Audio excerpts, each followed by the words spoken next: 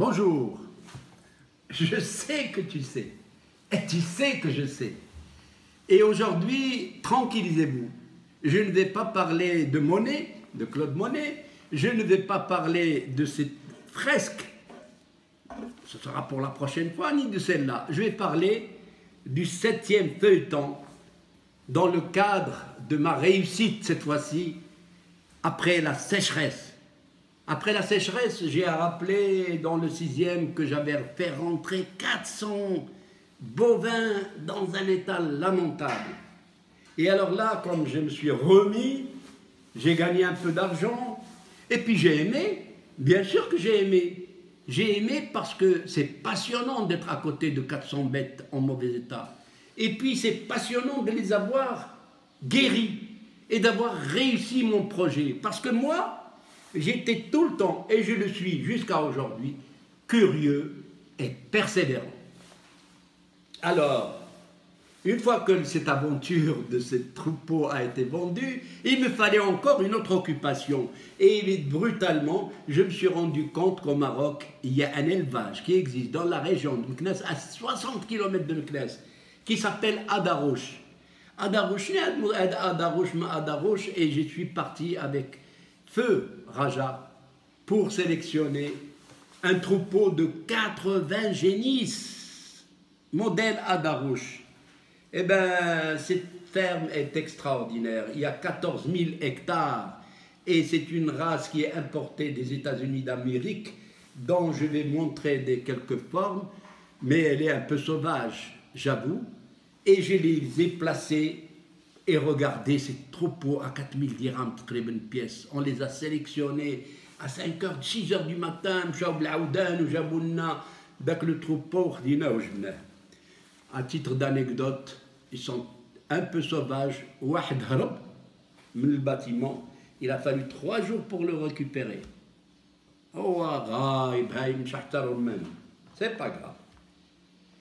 Cette opération n'a pas tellement donné satisfaction. Pourquoi? Parce que les bêtes étaient sauvages et le Et maintenant, actuellement, ça s'est euh, maîtrisé parce que la société Adarouche a mis en place un abattoir pour elles. Et elles vous vendent de la viande bio, comme on dit. La deuxième aventure, c'est qu'on du fait que le Maroc a été cassé, son cheptel a été cassé, l'État, le ministère de l'Agriculture a ouvert l'importation pour veaux d'engraissement et pour vaches laitières. Et j'ai participé à l'engraissement de quelques veaux venus de l'étranger. Alors vous avez des pieds rouges, vous avez des, des limousins, vous avez des montbéliards, de toutes les variétés de bétail rentrés au Maroc et on l'engraissait pour pouvoir satisfaire la demande qui était devenue très importante parce que notre cheptel était disséminé. Et mieux que ça, catastrophe. On importait des vaches laitières qui étaient dessinées pour donner du lait, et comme le prix était cassé parce que le ministère a donné des subventions, eh bien, ces vaches laitières, on les égorgeait en cachette, on attendait qu'elles fassent, qu'elles mettent bas, et on égorgeait le, la vache. C'est triste.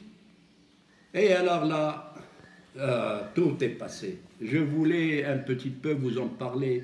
Et je voulais vous en parler parce que c'est là où j'ai appris, en plus de tout ce qui se passe, et j'avais l'avantage d'avoir Rajal et d'être moi-même euh, un, un, fervent, curieux et persévérant, je voulais voir ce que peuvent manger ces détails pour avoir l'aliment le moins cher.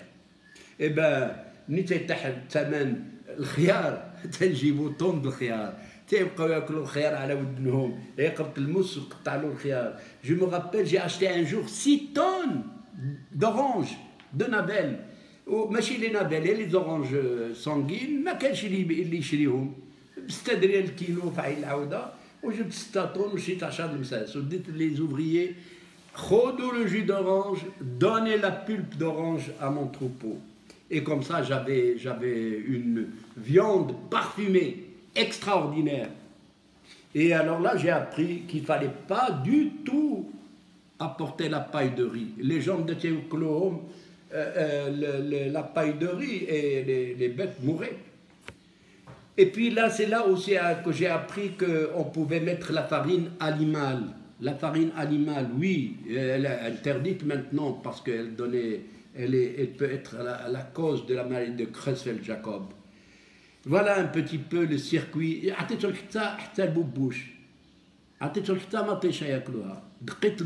parce que c'est une protéine quand même.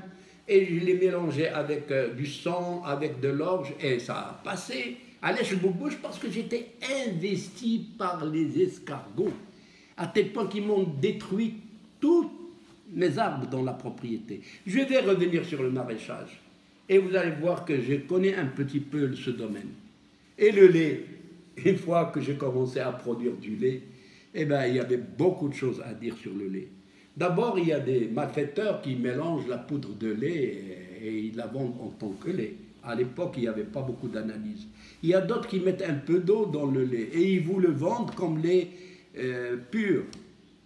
Et puis, il y a d'autres qui le privent de ses gras.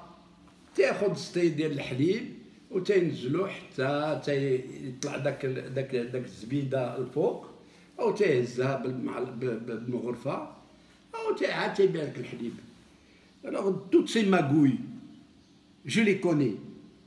Et tout ce que je vous ai raconté représentait pour moi un septième feuilleton qui est encore d'actualité jusqu'à aujourd'hui. Je vous ferai visiter un élevage modèle de Tazi Abdullah, qui s'est spécialisé dans le domaine et qui connaît parfaitement bien comment on produit du bon lait, du lait bio, avec les moyens dont nous disposons au Maroc. On produit du bon lait, pourquoi? Tout simplement parce que je vous aime. Et parce que j'aime tous les Marocains et Marocaines. Et je dis pour conclure, vive le Maroc